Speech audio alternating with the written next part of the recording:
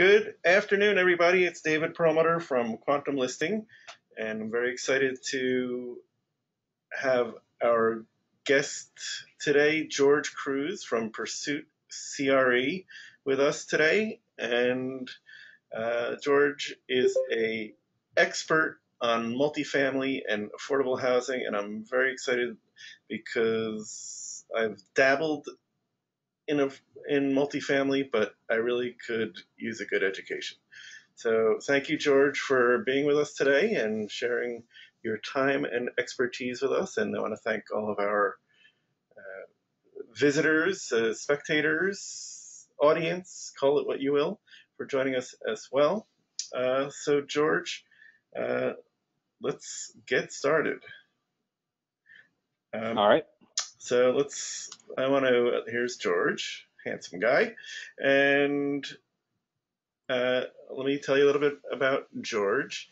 Uh, first, George Kruse is the principal of Pursuit CRE, a real estate investment and asset management firm specializing in multifamily housing.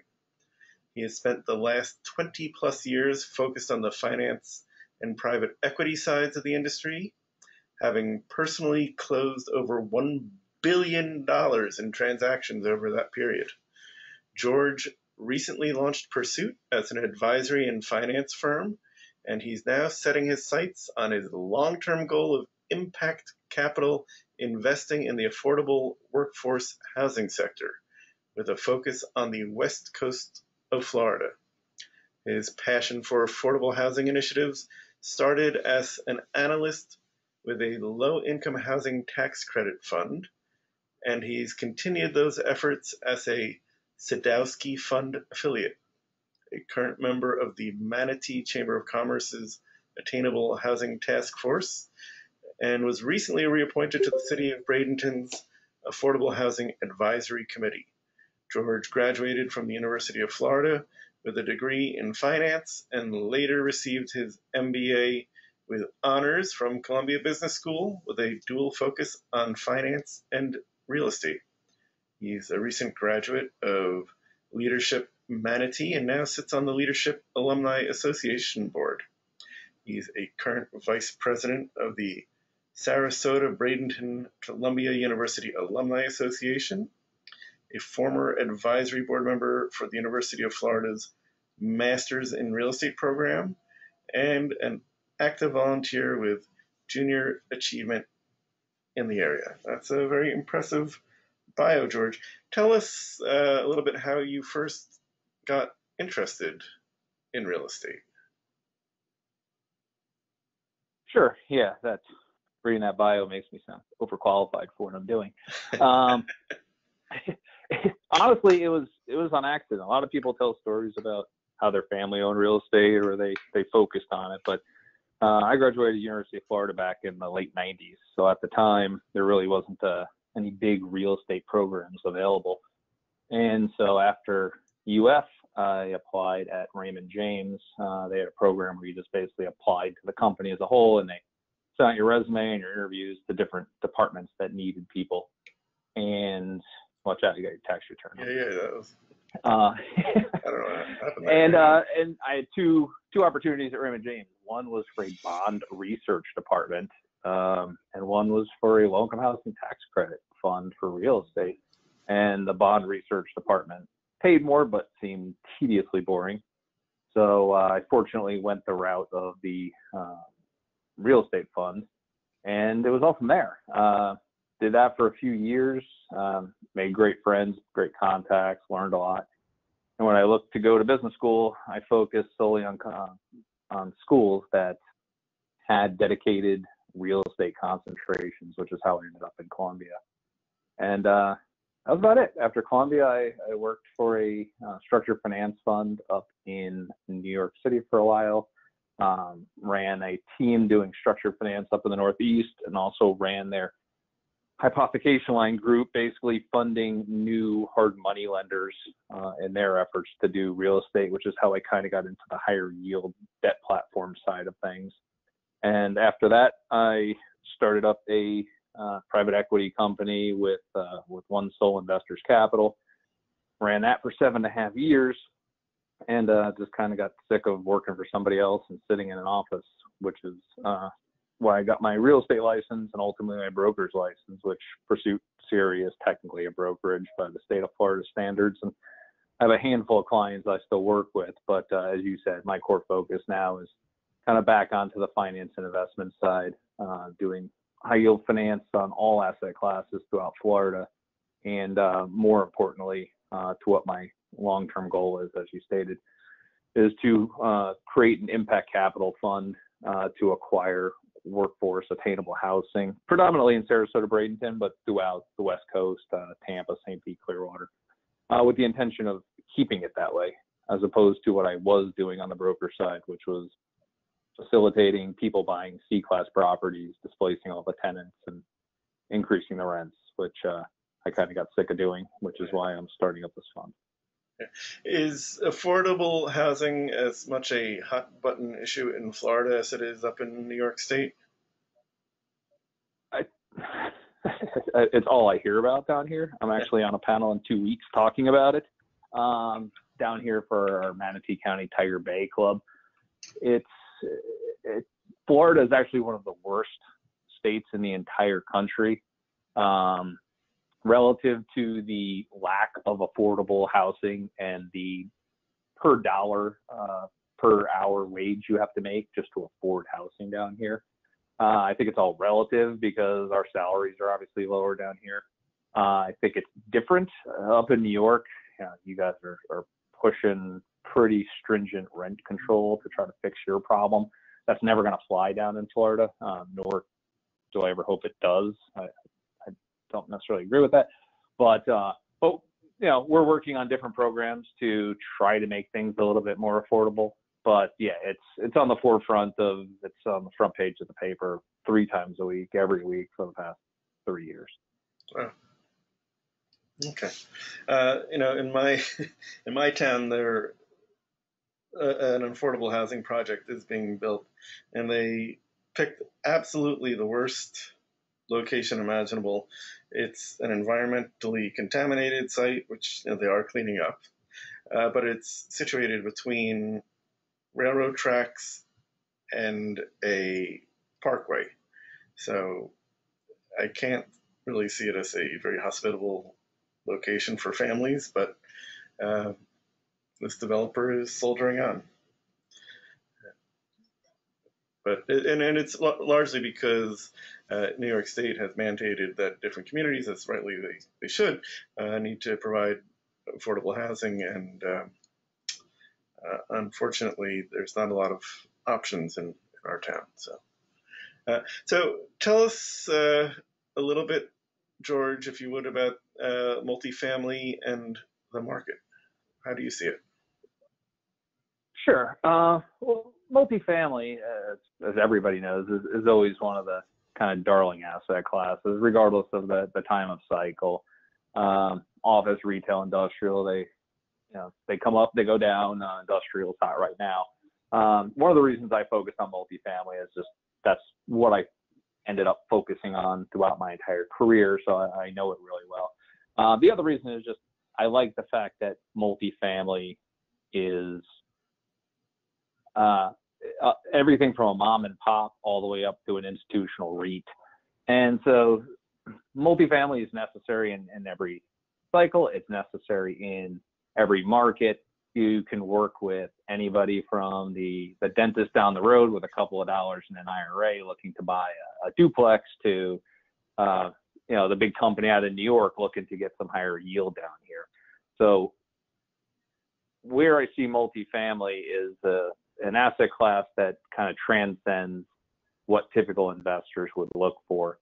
And where the market is today, I think shows that because the cheap cost of capital today has really democratized the ability to invest in multifamily. Uh, what was um, the Blackstones and the Greystars all buying up the larger properties back in the day you're seeing smaller funds be able to acquire these properties. It opens it up to more buyers, uh, gives more opportunities for sellers. And so I think at the end of the day, it's a dynamic asset class that, uh, you know, unlike some, is fairly, but not entirely, but fairly recession resistant. so I think there was a lot of demand in it. I think there is a lot of demand in it, and, and I foresee there continuing to be demand in it. Uh, sounds like a good thing. You know, I have never really done much in multifamily. I sold the site that was converted into multifamily, uh, but I would consider multifamily one of the many boats that I have missed in my brokerage career. Uh, so I'm looking forward to learning more. Uh, why do you think a broker ought to consider becoming an expert in multifamily? I'm not even going to say a broker should consider becoming an expert. I just think if if you focus on retail, and I know there's people on here that focus on retail, then that, that kind of consumes a lot of your time. You're, you're most likely not going to, unless it's a really small market and you have to generalize it, you're not necessarily going to switch over and also do office or also do industrial. You've got your focus, you have your tenants, you have your clients, you have to keep track of sales per square foot and show up at recon. It, it, it's tying up a lot. But what you can always do is also put a little bit of effort in multifamily. I, I, almost treat multifamily as something separate than your traditional quote unquote commercial real estate asset classes because you may be putting a tenant into an office space and the CEO of that company who's moving into town with his com- as he's relocating his company has capital and needs to make investments. It's amazing how many places you can find somebody who's wanting to buy a multifamily property. It's almost become a standard asset classification for long-term long-term holds on with your stocks and your bonds. So it, I, I, think it behooves everybody who understands real estate and is, is on the real estate side to at least have a, a, basic overview and understanding of multifamily. I'm not saying you you get into the weeds and you, you look up properties on uh, you know online on a daily basis, but you know, uh, like I said, multifamily is everything from a duplex to a 500 unit Class A property. So, you know, you're just opening yourself up to the potential for additional cash flow stream just by being uh, engaged with other people involved in real estate that may have the capital and, and desire to put out. Yeah. I think even uh, the Venn diagram of retail and multifamily, for those of us that uh, have spent parts of our career specializing in retail are they're moving closer together. And first, you really saw it with uh, lifestyle centers, where there'd be a residential component to them. I mean, obviously, in cities, there's been uh, you know taxpayers, and then you know, bigger buildings with uh, retail on the bottom and, and residential up top. But now there are these you know lovely walkable, purpose-built uh, centers, and and now one of the ways that uh, people are reviving shopping malls is by introducing multifamily elements to them. So correct, and and it's not just big cities. Uh, you you brought up kind of a mixed use there with the the retail on the ground floor. That uh, going back a little bit to the affordable housing side is a huge push across the country. Uh, we're seeing it here. People are, are proposing making zoning changes and uh, implementing mixed use components to places that otherwise weren't, that were traditional commercial corridors, with the sole intention of finding other airspace to build more residential for the sake of inc- increasing the supply and uh, trying to get the cost down a bit. So, you know, if you're on the retail side, uh, in fact, I know a retail broker here in Bradenton. He's a friend of mine and he's been working with a multifamily developer right now. They're coming out of the ground three blocks from where I'm sitting right now, and he has the the full lease uh, contract for the ground floor retail, and he's been working with them on the multifamily side as well. So he gets the double dip on that, and I think you're going to see uh, going forward a lot more mixed use in suburban and, and tertiary markets than you saw in the past. Interesting. Um, and you, you mentioned that multifamily comes in lots of different flavors.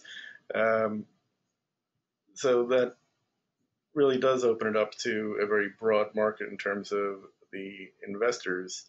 Um, I had a summer intern a couple of summers ago here at Perlmutter Properties, and the young man's dad is a chef at a country club, and he invests money in you know, two and three family houses uh, so that he can have some steady uh, income and you know presumably build a nest egg for his retirement. Are you seeing a lot of that in your market, or is it mostly uh, you know professionals with air quotes? Well, that, that's the thing. I think that's one of the reasons people stay away from multifamily a little bit, uh, and it, it's not in the least bit accurate. And in fact, just using as an example, go on to Meetup one day and just look up some real estate organization or real estate meetups in your area. You will find a hundred different meetups of investors looking to buy everything from single family homes to duplexes to up to five, maybe up to 10 units. They're everywhere. You, you, you can't walk down the street without bumping into a REIA someplace. But I can't remember the last time I went on to the Meetup app and found a bunch of doctors and dentists and professionals meeting up to discuss buying a shopping center or a big office building. Maybe they're buying a small one or a medical office building. You know, maybe they have a skill set that affords that, or they're moving themselves in. But you don't see that as much in other asset classes. But to your point, everything from single family residents, which have now become a, a major supply of, of the rental pool, all the way up through fours and fives and tens, make up such a disproportionate amount of the rental market that uh, I, I, think people hear about the Greystars, they hear about the, uh, the, the major players, the the equity residential, they, they make up virtually nothing of the investment pool. they're, yeah. they're, for me, they're they're meaningless. I'll never make a phone call to them because I'll never look at deals that they would ever want to look at. And I, I knew the rough idea, but just to give you an idea, because I actually looked it up to get a little better handle on it, 80% of the rental properties in the state of Florida are under 20 units. Hmm. Wow. 80%. I mean, it, it's, and only 9% of all the rental properties in the state of Florida, and not state of Florida, in the United States are over 50 units. 9%. It, it's, you know, if you want to get involved in multifamily, you can do that, like I said, by talking to your aunts and uncles. You can do that by showing up at a REIA meeting. You can do that by talking to the CEO or, or anybody at a new corporation moving into your, your town that you're currently helping them put a lease together on office space. They may want to buy multifamily and they don't need to buy a $10 million, $50 million property. A lot of people are looking for the $400,000, $1 million, $5 million property. And uh, it's it's such a huge part of the market, but nobody wants to give credit for it, or people want to get scared off by multifamily because they think they have to tour 400 units and deal with 20 different roofs, and that's just not the case. What uh, are some of the things that people should be looking for when they're considering some of these smaller properties? On the broker side or the on, on, on the purchase side? well, I, I just wrote, and if anyone wants to, to look at it, I wrote a 10 part blog on how offering memorandums for multifamily properties are kind of tricking you. So um, that'll give you a lot more detail than I can right here. But uh, there's, there's a lot to look at. And one of the reasons you got to be careful with them right now uh, and at least give yourself a basic idea of what's going on is because it's such a hot market. Uh, there's there's very little inventory today uh, compared to even last year, and there's a lot of demand. And because of that, there are a lot of questionable pro formas that come out. Mm. Um, so you really need to understand it. There's not there's not a million metrics for multifamily. It's fairly straightforward, but just I, I would encourage anybody who's looking at it either for themselves or for a client to really take a look at the numbers. At the end of the day, this is an investment. You you need to get an inspector in there. Um, there are a few major capital expenses such as roofs and parking and HVACs and you know cooling systems depending on where you are. But you know you're going to get an inspector looking at that. But before you even waste your time on it, you really need to dig into these numbers, make sure that they work, and uh, and you're going to see some some pretty aggressive assumptions. I, I wouldn't take any of them at face value today. I'm not saying people are doing anything wrong, but you know, pro formas will show you whatever a pro wants to show you, and you know, it, it's very easy to manipulate multifamily numbers because you're not signing 10-year leases. if you're going out and underwriting a triple net Starbucks, uh, you know what you're getting. There's not a whole lot of room, you know, wiggle room on that. But if you're buying a 20 or 30 unit multifamily property, there are so many different variables that you can you can play with. So just if if you can't learn it yourself in your market, then there are property managers falling over themselves to get get properties right now. You call a couple of them, one of them will look at those numbers for you for free, and they'll tell you truly what's up because they want to get the contract. Yeah, that's a very good uh, suggestion. And what about uh, as a broker? How did you go about sourcing these multifamily deals? A couple years ago, it was fairly easy because you just need to know who's who. Again, uh, because it's so fragmented, uh, when you start trying to figure out every duplex and quadplex owner, that that does become hard. It's just a matter of knowing the market. Um, you you meet people over time. Uh, typically, you can run into people who just keep buying, and so you find one person and they own ten properties. Get in to know them, and eventually they're going to want to sell. Um, traditionally in multifamily, unless it's an, an institutional type thing or generational type asset, people are pretty much going to sell around the five year mark. Um, and I'm not using that as just an arbitrary number. It's it's pretty close to accurate that people start selling at a five year mark uh, for two reasons. One, a lot of multifamily debt is five year debt. Um, the second reason for that is because one of the biggest benefits of multifamily, especially to the individuals buying the smaller properties, is because it's essentially tax free up front because the depreciation is so tremendous.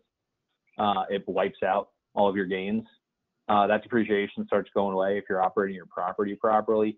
Um, as depreciation goes down, your NOI goes up. You're usually in the plus or minus five, maybe seven years if it's a longer play. Uh, at which point in time your NOI starts exceeding your depreciation loss, and then you start having to take taxes off of it. At that point, a lot of people will recapture their equity that is built up in the property, sell it to somebody else, and 1031 it to a new property and start that whole process with the depreciation over again. Uh, are you seeing a lot of 1031 acquisitions in multifamily? I was. Yeah. I was seeing a, I was seeing a ton of it. It was you couldn't you couldn't find a buyer that wasn't 1031. Uh, right now, we're not seeing as much just because we're not seeing as much inventory. And the reason we're not seeing much inventory is, is a couple things. One, I think people got pretty aggressive on their sale prices, and uh, for a period of time, they were successful with it because of the 1031s. I know one group out of Texas that bought a property here that I underwrote to about an $8 million valuation. They bought it for $9.5 million. Wow. Um, and they knew it too. They were begging me to find them something else before they went hard, um, but they couldn't find anything else. But you have no choice, especially if you've 1031 a few times over. Your your tax basis is just zero on that, and you'll just get killed. So they had no choice. Now though, because of less inventory, we're finding people are less inclined to sell their property because they're afraid of what they're going to do with the capital. And the second reason is a lot of people, again, it's a five year, five to seven year cycle. So if you're sitting on five years today in 2019, that means you bought it between 2012 and 2014. Your basis is really low. And you've seen, depending on what market you're in, five to eight percent rent growth year over year compounding. Your cash on cash return is just astronomical right now on these properties if you held it for five, seven years to go out and sell this property at a number that makes real sense to an actual buyer and be able to reinvest that capital someplace to match that cash on cash return or even that absolute return is virtually impossible. In fact, I'm surprised at the stuff we do see sell. because it just it's the dynamics of the market. I, I wish that wasn't the case. Um, that doesn't do me any good, but uh, but that's just a reality. If you're collecting five to eight percent rent growth year over year. Expenses only going up maybe two percent, two and a half percent. Your NOI is just so high, and meanwhile you pay down that debt. Um, we're actually seeing people come to us, and again, I don't list properties anymore, but but I have a lot of friends that do, and they'll basically say, look, it's a 20 unit property. I know it's probably worth two and a half to 2.8 million. Uh, put it on the market for four million bucks. Let's see if somebody bites. and if I'm serious, and if somebody if somebody bites, they take the money because they can withstand paying the taxes if right. necessary, or, or, they'll have sufficient capital to reinvest and, and make that return back. And if nobody bites, they just refinance, especially right now because you can refinance for next to nothing. Yeah. Uh, speaking of financing, uh, how do people go about financing these multifamily acquisitions? You, well, nice thing about multifamily is you can finance them virtually any place. Um, there's so much capital out there today that it's it, it's almost gotten aggressively absurd relative to capital for multifamily. Um, what you need to be careful of is if you're buying a duplex or you're buying anything four units or less, it's residential. Uh, it's not commercial uh, relative to banks and lenders. Mm-hmm. So somebody looking at those properties need to understand their tax returns, their FICO score. It's all going to be on the line. Uh, I don't care if you're going agency financing or private lending or, or your community bank. They're going to treat four units and less as residential.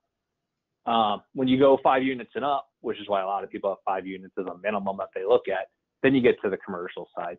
Uh, right now, and pretty much forever, uh, the biggest is agency debt, uh, your Fannie and Freddie. It's if you can get it, it's so cheap and it's not hard to get per se, but it's one of those catch 22s. They won't give you a loan unless you've gotten a loan from them before.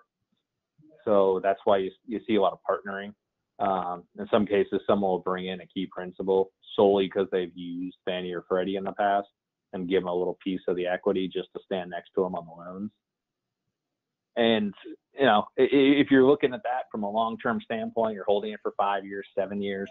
Um, you just want to make sure you're you're taking the right loan. I mean, I do bridge, so when I talk to people, it's people who think they're going to get a big value pop. And there's a lot of money out there. There's a lot of debt funds that raise a lot of dry powder, and you can get reasonably cheap debt on that. You can get sub seven percent debt from a debt fund on a, a value add acquisition for two, three years. In some cases, interest only, some cases non-recourse.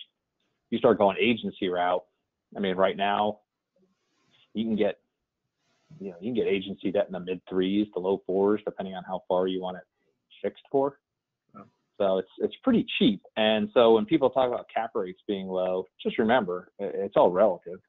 if you can finance something at three and a half percent, I don't care if the cap rate's five, uh, it's still accretive. Still yeah. getting a good spread there. And so back in 2008, when the world fell apart for a while, was multifamily mm-hmm. part of that disaster, or or was it really just everything else? It, everything was part of the disaster. Um, multifamily kind of got hit in two ways from a recession standpoint, and and none of them were overly meaningfully because of the NOI. Uh, like I said, people need a place to live. You, you, can always shut down your storefront. You can always not travel to a to a hotel, but people need a place to live. So as long as a landlord can be reasonable, you can still do all right in a recession.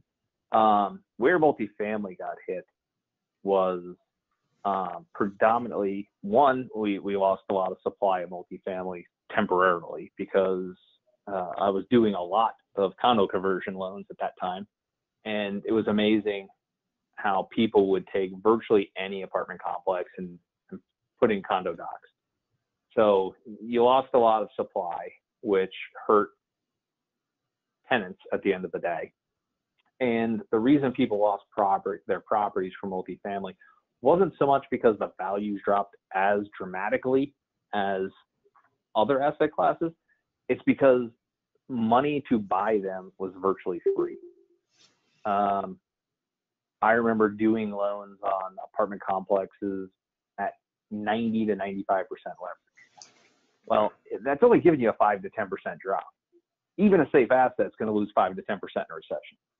And when you get to a point where an asset can drop 20% compared to other asset classes that were dropping 40, you can look at that and say, hey, this is a safe asset. But if you levered it to 90, you're losing your property. And banks took back so much property because the leverage was so crazy on these things that they had no choice but to start selling them back off. And when banks were selling them off, there was deferred maintenance. There was the just the, the tainted image of a bank owned property. And so they sold them off cheap. And that just started a snowball effect. It, it lowered the valuation, not because the the metrics deserve, showed that it deserved to have lower valuations, not because there was a meaningful drop in tenancy. It, it, dropped because banks took all the properties back, and the banks took the properties back because the banks gave people more money than they should have taken. Are you at all concerned that multifamily is being overbuilt today in some markets? Um, well, that's that's you, you, threw that last three words or whatever in there. Um, I'm sure some markets are. I don't follow every market, yeah. so I'm not going to make a blanket statement about every market in the entire state of Florida or the entire United States. Um, in general, I'm not. Not only am I not concerned, but I think we're not building enough. I think we're we're still undersupplied. and I think we're going to continue to be undersupplied. Um, if you actually look at it, every year, the United States needs about 350 new apartment units just to keep pace with population. And up through 2016, 350,000, right? Thousand. Okay. Correct. Sorry. Yeah. yeah, about 350,000 plus or minus apartment units every year just to keep pace. And up until 2016 ish, uh, which wasn't that long ago, we were only building and delivering about 250,000. Back when the, the recession hit, there was less than 100,000 units delivered in 2009. So we were starting way behind the eight ball with way too little supply. And year over year, we never caught up to that supply. We were still being undersupplied relative to deliverables versus what was necessary for years and years. Now we're at a point where we're delivering about 400,000 units and the demand is still around 350. So people look at that and say, hey, it's oversupply.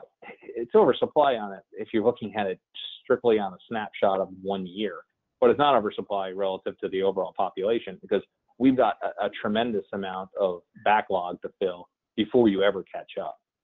Like I read a report just a month ago or so that said that by 2030, the United States requires over four and a half million new apartment units just to keep pace with the additional demand from tenants of new tenants, meaning young kids that are getting older and start moving into properties or uh, families being developed.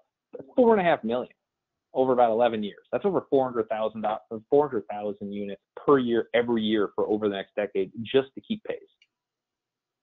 And we've only built 400,000 plus and deliver 400,000 plus like twice in the past decade. Now, of that 350,000 unit demand, uh, you know, that needs to be met every year, the new the new demand. How much of that is do you think affordable housing versus market rate housing? See, there's the catch. Yeah. um, I would I would guess virtually all of it should be affordable housing. um, because here's the problem: you can't build a Class C property ever. It's physically impossible.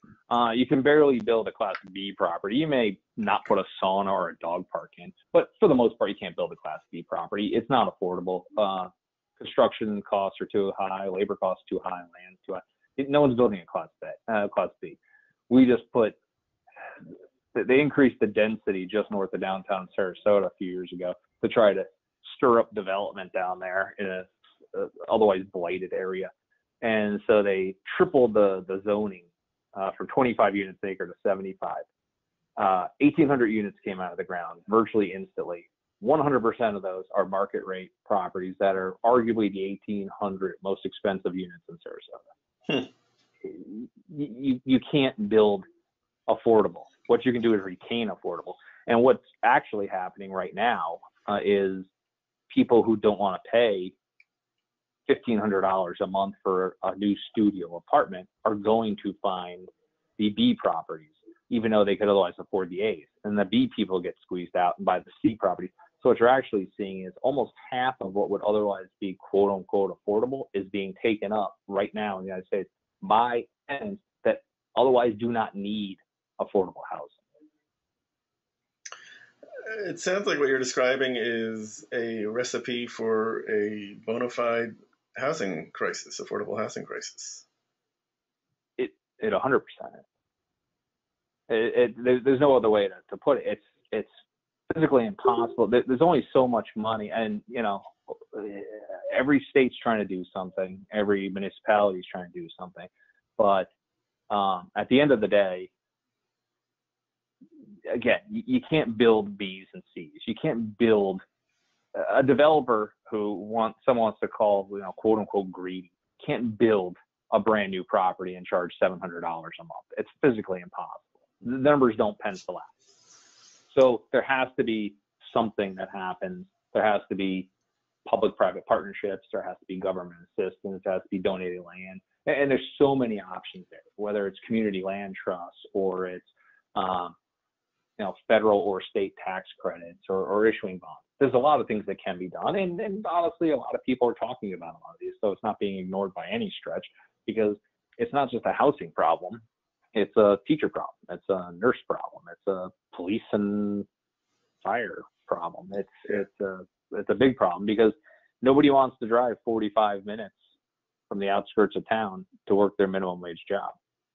And so unless you give them a place to live close by, it, you know, everyone wants to complain and do, you know, show up in their NIMBY shirt, telling people, hey, I don't want that apartment complex next to me because it's slightly subsidized. Um, when they show up at a restaurant with a two hour wait because there's no wait staff there, you know, they can just remember what decision they made relative to that apartment complex. Yeah. Uh, and I work. But, and, and, you, and you see that in Class A though. You see that though. It's being reflected in the market. So at some point, someone needs to understand it. Like right now, the overall market's about six percent vacant, but B's and C's are only about three to four percent vacant across the country, whereas Class A properties right now are about eight percent vacant because they're pricing themselves out, but they have no choice. We just sold a property here in Sarasota. Well, not me, we, I wish we, uh, somebody just sold property here in Sarasota um, for almost $450,000 a unit. I'm shocked when someone tells me they sold a house here for $450,000. They sold an apartment complex for $450,000 per unit. I mean, there's no way that new owner could possibly rent those things for anything less than insane rental rates to make that work. And now they're forced to. They're going to have to do whatever they can with whatever concessions they can, and it's just going to be a, you know, I guess the opposite of rising tide. when they go down, everyone else starts going down, but it just squeezes everybody out. Interesting. I mean, I live in Chappaqua, New York, which is an affluent community, and our taxes are very high. Uh, we don't have a big commercial base. Uh, and I'm now an empty nester. I had four kids that we put in the public school system, and you know, it was a no-brainer to pay the the real estate taxes rather than pay private school tuition. Um, and then, so my wife and I have the perennial discussion that all empty nesters have is should we stay or should we go? And when we started looking at apartment rents in our community. Our taxes, as high as they are, they're still less than it would be to pay rent. So we're mm-hmm. staying. Mm-hmm. It's uh, at least you know for the, the foreseeable future. Plus, we want to have a, a, place. We have four kids, and we want them to be able to have a place to come back to. Uh, so interesting. Uh, so you think it's really going to take government incentives uh, to get enough affordable housing, and even if that's going to work at all.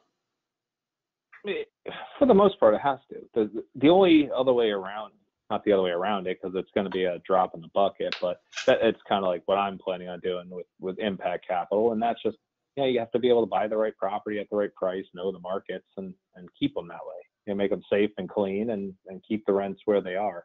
I think at the end of the day, people will be surprised that the the yields that I'm hoping to achieve from an investment standpoint are virtually the same as everybody else's yields who are going for a much bigger value add. Just got to know what you're doing. Mm.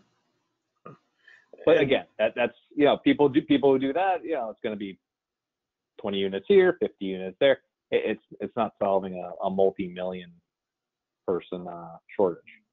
Yeah, and do you think that alternative construction methods are going to be used, sort of the um, modular apartments, mm-hmm. or uh, it's not quite here yet, but uh, you know, printed apartments, you know, the, the 3D printing. You think uh, those are going to help with this problem?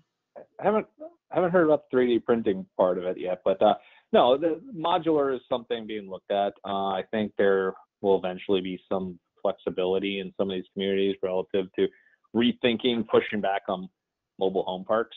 Um, that's been a, a, big sticking point for a lot of communities for a long time, but they do afford affordable housing and you can put a lot of them on a reasonable sized lot. So I think people look at that. Uh, what we're seeing around here is there's some developments going on for these teeny houses, tiny houses. Uh, yeah. Uh-huh. Uh, where they're, they're, really small houses. Uh, we just passed something down here where people can put uh, ancillary development units uh, in, in, the back of their house, uh, as long as it's no more than 50% of their current house size, with a max, I think, thousand square feet. Um, so it's allowing people to kind of capture some rental income while providing a smaller, affordable place for people to live. Um, I just had a meeting with somebody a week and a half ago who was talking about trying to find some land to do storage container housing. Huh, wow. Like shipping containers. Yeah. Huh. And are you seeing? So, any, yeah. Yeah. Are you seeing any co-living in your market as a uh, possible solution? It's being talked about. In fact, I, I know a guy really well who has been pushing to try to the, the building he wanted to acquire that's basically a vacant building right now. It, it would need to completely be rezoned for residential and so forth. But that's what he's trying to push for is to come up with a co-living. We don't have it here um, right now, so it'll be a first. But uh, but I do know there are some markets that that have come out of the ground with a pretty substantial co-living property, and I think it's it's a great opportunity. I, you know, I think you're catching a tenant for a short period of time. I, I can't see there being a, a ton of 40 year old people with their families living co-living, but you know, you're, you're taking a big chunk of early 20s people, and maybe you're taking a big chunk of retiree people that just want some company. Uh, you know, you're serving a need with them. I think co-living is a, a great opportunity. You just need to convince the community of it because, you know, one of the biggest problems with any scenario where you talk about smaller units to make things viable, uh, whether it be the tiny houses or it be co-living, is parking. Uh, it, you know, you can't. It, it's hard to build anything with with parking ratios. Here in Bradenton, we have a two two spot per unit rule, regardless of size of the unit. Huh. Wow. You can't build anything you go and get co-work, you, are co-living spaces where you have four people essentially in uh, four separate units. It, it, you just bleed yourself dry and you take up so much of your additional land space that you just couldn't make it work. So that's a situation where it's not so much getting uh, money from governments is getting governments to take a step back and realize that uh, you know there are some zoning issues need change, just like uh, Minnesota just did, well, six months ago. They basically threw their zoning book in the garbage and completely removed single family residential as a zoning classification. Basically saying anybody could build up to three units on any lot. Wow. I did not know about that. Yeah. Yeah. And you'd think that in today's world of Uber and Lyft and tomorrow's world of uh, autonomously uh, driven, hailed uh, vehicles, that automobile ownership is becoming uh, ought to become less of a factor in the future than it is today. And it will, and I think people are starting to see that. Uh, Sarasota County, just south of me, just passed something um, over the spring where they basically said any unit built that's 750 square feet or less qualifies as half of a unit, uh, which allows them to get half the parking ratio requirement as well as half the impact fees. So that's pretty major. And uh, I'm actually meeting some people a couple weeks to try to convince Manatee County to, to implement a similar process because, you know, if you can convince a developer, hey, you're going to build a thousand square foot property and you're going to get 1200 bucks a month per unit on that, but you can build 750 or 500 and you have to pay half the impact fees, half the parking and get $800 per, per month for those smaller units. It, it's, it's in their best interest to build the smaller unit. It, yeah. It'll be more profitable for them. You don't need to force anyone to do anything. It's basically an invisible hand. Just give them the ability to think about what's in their best interest, and if you do it right, they'll they'll do what's necessary. Awesome. So, uh, I appreciate uh, you taking a little detour uh, with me. Um, in uh, are you seeing today in the market that the spread between bid and ask uh, is you know you know narrowing? Is it widening? Uh, are buyers and sellers on the same page? They are as far away as humanly possible. In fact, if anyone's out in Miami in September, I'm moderating a panel called "What's Going On with the Bid-Ask Spread in Multifamily Property" at the Crittenden College, but uh-huh. because it's so ridiculous out here. yeah, which is funny because uh, uh we didn't talk about that beforehand, and you just asked the, the exact title of my panel. um, yeah, no, it's like like I said, people are putting properties up that they know are worth two and a half, and they're trying to list them for four just to see what happens. Uh, somebody looks across the street and sees that property was overpriced and is on the market, so they sit, they call up their broker and say, hey, if they're getting two hundred thousand unit, you know, I want to put my property on the market for two hundred thousand a unit. And I, I don't disagree with, like I said, and just circling back, I don't disagree with where they're getting their valuations because it all comes down to an investment and cash flow. And they're making too much money, but it just doesn't work. Um, there are buyers who can make it work either because they've got just ridiculously cheap cost of capital and very low yield needs. Um, like I just mentioned, the $450,000 per unit purchase down in Sarasota. I have to assume their their yield requirements for their fund are much lower than mine would be. But you just can't you, you can't find a meeting of the mind here. And I've seen so many properties come on the market that are otherwise great properties. Six, 12, 18 months ago, maybe not six, but 12 or 18 months ago, they would have had 20 offers. And who knows, maybe they did, but they sit on the market for six months and then come off the market because nobody's paying these prices right now. So, you know, something's got to give. And I don't think it's going to be buyers coming up because I don't see where there's any more growth potential. Uh, you're starting to see rents flatten out a little bit.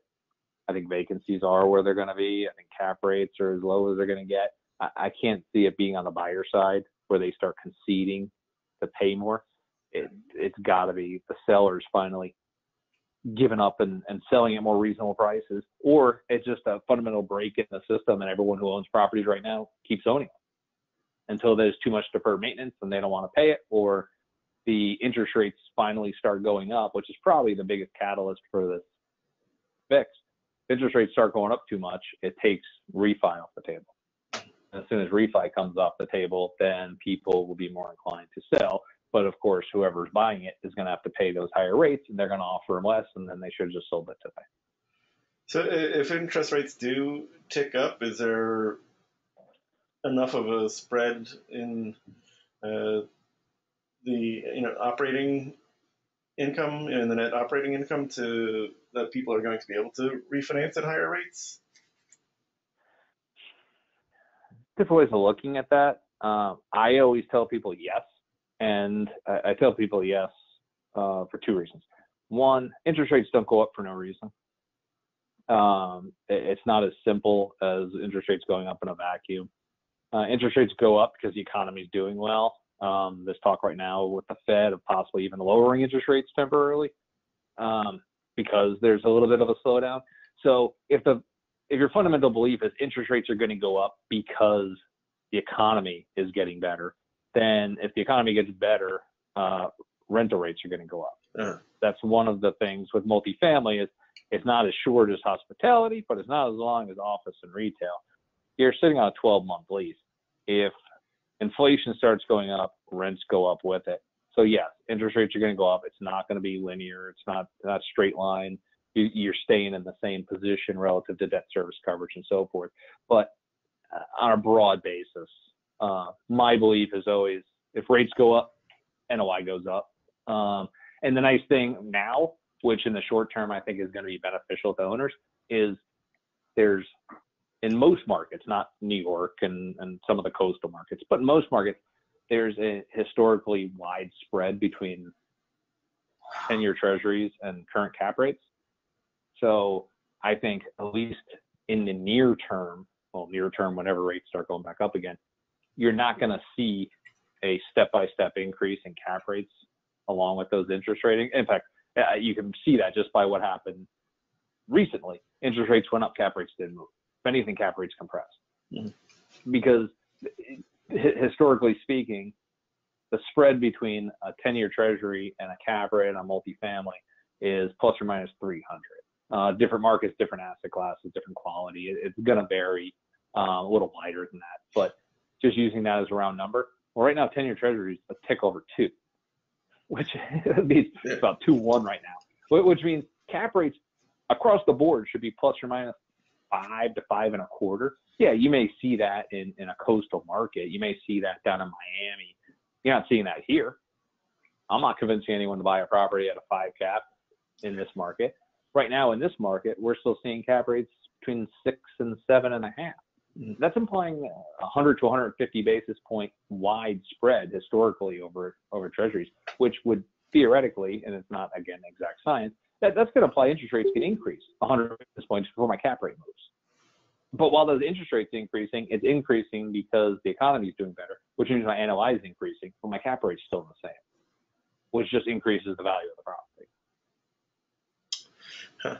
So, um, in underwriting deals today, other than unrealistic uh, uh, values, or what are the other issues that you're seeing in your underwriting endeavors? I think the biggest thing you're seeing right now is people looking at what's uh, what's happened these past few years. It's been an, an incredible run up for multifamily properties last few years. Like I said earlier, you know, most markets we're seeing five to eight percent rent growth. Most markets we're seeing three to five percent vacancy, especially down in the the BC range. Uh, too many people, I think, are trying to sell properties based on future performance as opposed to current situation. Um, maybe there was some validity to that within reason a couple years ago when we are still in that big run up. Um, not that I would ever encourage anyone to pay somebody for future value um, because you're the one creating that value and you're leaving everything on the table. But today, it's not the same. Right now, rent growth is about 2%, 2 and change for, most, for a lot of markets. Um, this is very broad because we're talking about thousands of markets, but just in general, rent growth is down around two to two and a half. You're basically growing rent at inflation in a lot of markets right now, and vacancy is kind of sitting at a close to historical number. Like I said, six percent.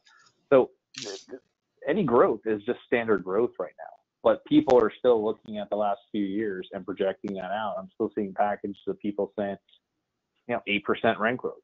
Still seeing packages showing three percent vacancy.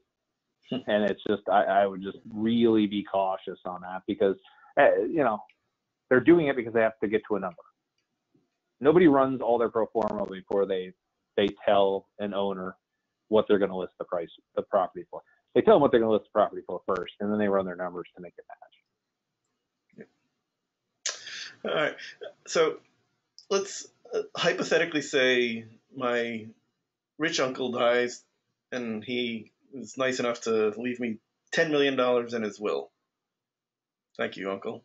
Uh, what should I be doing with that if I'm thinking about investing it in multifamily? What should you be doing with it? I would encourage you to buy it. you know, No, I mean, people say, hey, it's, a, and I've said on this call that the prices are high, and, and you know, and like, but at the end of the day, I still believe one, if you've got that much cash in your pocket, uh, it should be invested. You're you're never going to make anything as cash. If anything, just based on inflation, you're going to lose value every day on sitting on that. So you're better off investing it. And if you're going to invest it, especially if you have some level of uncertainty in today's market, your best bet's to invest in something that is cash flowing. Um, I would do it at a level that's a reasonable leverage point. I, I would highly suggest nobody's going over about 75% leverage.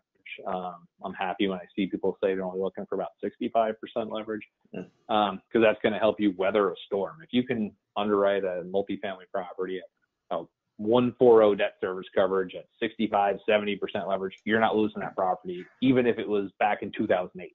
Yeah. And you're still going to own it, and it's still going to cash flow. You're still going to have tenants. And yeah, you may not get quite as high yield for a few years, but all those people who did that in 2007 and 8 and 9 and were able to retain their properties are very rich people right now because yeah. they were able to hold that through and the values of those properties went up. It's all the people who gave them back to the bank because they didn't want to put some equity in. So what I would tell somebody to do is I would diversify the money. There's a lot of properties out there. I would stick with five units and up because you get commercial loans. Um, if you don't, if you're not fully immersed in multifamily, um, the management of it, the obtaining loans for it, you, you can partner up with people all day long. I, I get people calling me about joining syndication groups and joining JV groups. There's a lot of people looking for it, and everyone brings something to the table. Some people find the deals, some people underwrite them, some people manage them, some people bring the capital. You can put money out in multifamily if you want to put money out. Um, eh, but I, I don't. I hear people say, "Well, I'll wait till the market turns and then I'll put my money out." I'm like, it, when the market turns, everyone's going to put their money out. Yeah but you're starting from square one, especially if you don't own properties. No bank's going to lend you money in a downturn if you don't have a, a, track record and a resume for it. Nobody's going to partner up with you because they're not going to need to because the values have gone down. No broker's going to send you a deal because they've already made their connection. If you wait for anyone who says they're waiting for a crash before they start putting money out, is not putting money out. Time to invest in a uh, in a fund or a REIT that is in multifamily if that's your your attitude? I see no fundamental problem with REITs. It's just like I said, those are the people buying properties at, at four caps, and yeah. they're going to be steady. They're not losing the property. They're diversified enough. Um, you're going to be fine. But if you buy your own property, I see people making, you know, two time multiples on sales five years later. I see people making 10 to 12 to 15 percent cash on cash returns on the equity side of it. Um, there's a lot of upside to multifamily if you know what you're doing and you buy it right and you manage it right and you finance it properly. It, it, if you buy a REIT, you're gonna you're gonna get your dividend. you know, it, it, may go up, it may go down. It's it, it it's at least somewhat tied to the general equities market. Um, so it's not as pure real estate as buying a property. So I don't own any REITs because if I was going to put money in and have exposure to real estate, I'd rather take advantage of the depreciation side of it, or rather take advantage of the potential upside of it than just basically have a a high dividend stock. Got it. I got a question from one of our participants, Nadine Nicole Potter asks, when folks have full-time careers and no experience, how do they find a reliable property management company that will preserve and enhance the value of their property? In my market, Phoenix, finding decent management companies for small and mid-sized properties is almost impossible. Um, I, I don't know Phoenix per se, so I'm not going to say that's wrong, but they're, they're property management companies all over the place. Um, what I would do is every property management company here is a member of the Chamber of Commerce. Every property manager here goes to real estate meetups uh, without fail. You, there, there are a few big ones everybody knows and everyone gravitates towards. but then there's a lot of small ones too. Um, especially if you're looking at small properties. If you're looking at duplexes, triplexes, quads, even up to 10 units, there are property managers out there that do single family homes that can easily handle that. It's not um, it's not dramatically different. If you start getting to 50, 100 units, then you need a real property manager uh, that understands the dynamics of that. And there's usually less of those um, in our market. I could probably count them on one hand, at least of the ones I would reach out to. But yeah, every property manager I know is is a member of our Chamber of Commerce. If you call them up or go on their website, I'm sure you could pull real estate property managers, and they're all happy to meet with you because they're all looking for business. Um, what I've done with a couple in the past is I've just basically sat down and quizzed them essentially. Um, one time I even brought a deal package for a property we were looking at, and I said, "Here, look at this, look at this P and L. Uh, what do you think of it?" And I sent it ahead of time, let them run the numbers. They showed up, and I compared it to what I ran, just to see, you know, how they thought things through. But you could find them. But again, if you're if you're talking duplexes and triplexes, a single family property manager will typically handle those as well. If you're looking at bigger ones, it, I, I would argue a good property manager, I don't care what they charge you, is probably the single most important part of a successful property. Yeah. Um, I've seen I've seen great properties that just had 80% occupancy because they try to self manage it and just didn't put effort in. I've seen perfectly located properties with rents that were just obscenely low because they didn't put any effort into figuring out the market. Um, I've seen people get taken advantage of in terms of repairs and lawn care. A good property manager will, will clean that up. And I don't care if you have to pay an extra one to two percent of of revenue for that property manager. You'll save it like five times over. Yeah. I have a suggestion for you, Nadina, on another sort of indirect way to find a good property manager. I have a close friend up here who is uh, has an insurance brokerage, and one of the things they do is insure lots of multifamily properties. Uh, so you could talk to somebody in one of the you know ancillary uh, professions that deals with multifamily and see if they have recommendations because they're going to know uh, uh, from their experience who, who the good managers are, I think. So uh, that might be. Oh yeah, no, that's that's great. Also, any broker, any commercial broker will know exactly who the property managers are. Uh, either they sold a property where that manager was on site, or they put somebody in a property and and help put a new manager in. They'll happily tell you because what they want is that property manager down the road when they catch wind that their owner is thinking about selling, they want that property manager to call them as the broker to be the first one yeah. sitting across from that person. Yeah. So there's a very synergetic relationship between commercial brokers and property managers. Yeah. So George, believe it or not, uh, we've it's actually a little after four o'clock, and I don't want to hold you up any longer. Uh, but we do have one more question if you've got time for it. Uh, it says, what is your prediction of the likelihood of the proposed Affordable Housing Credit Improvement Act of passing in this federal legislative session? I don't even know what that is, so I don't yeah. have an answer. Okay. Well. I, I, do I do know there's a lot of there's there's a number of things that are being discussed right now up there. So I'll talk just more generally. Um, yeah. I, I, definitely don't want to get political on this whatsoever. Uh, yeah, I'm going to keep getting this. I'm going to keep that one close to that. Anything, it's probably uh, uh, a long shot, but uh, yeah. So anyway, but, but I, I, but but I, but I will I will just say that there is a lot of push. There is a lot of talk uh, about ways to expand the home program, uh, ways to better utilize the affordable housing tax credits relative to Section 42, if, if this is what this is referring to. Um, that's been a very successful program, but it's so underfunded now. Uh, back when I was doing low income housing tax credits, maybe 50 to 70 percent of people who applied for them got them. Now people are making just like over the top promises relative to 30 years of of keeping it affordable and, and all these other things just to win these credits and maybe like 20% of people are winning them so there's a lot more demand for it than uh, the ability to use it. And so th- there, there's a lot of talk about ways of expanding a lot of these programs, but at the end of the day, it, it's a matter of coming up with the funding for it. Uh, same thing with with uh, with Section 8 and vouchers. You could probably increase that funding a hundred times, and you still wouldn't meet all the demand for it. Uh, so there's a lot of talk up there. Uh, some people of authority are, are kind of pushing in the, the wrong direction relative to affordable housing. Uh, but again, I'm not going to get into the political side of that. Well, thank you, George. Uh, I really appreciate your sharing your time and expertise with us today. Uh, if people want to get in touch with George, his contact information is here. Uh, he is, uh, you'll be able to get all his social media contact info on his website, pursuitcre.com.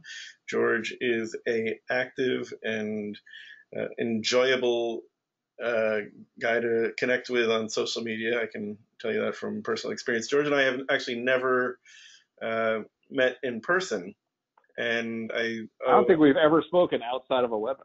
I think you're right. Until this afternoon.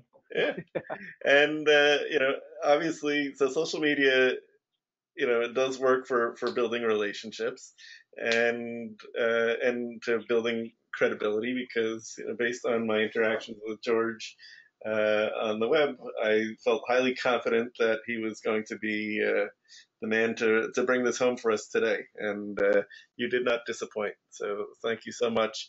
Um, to you, I want to thank uh, Andres and Julia from my team for helping put this together today.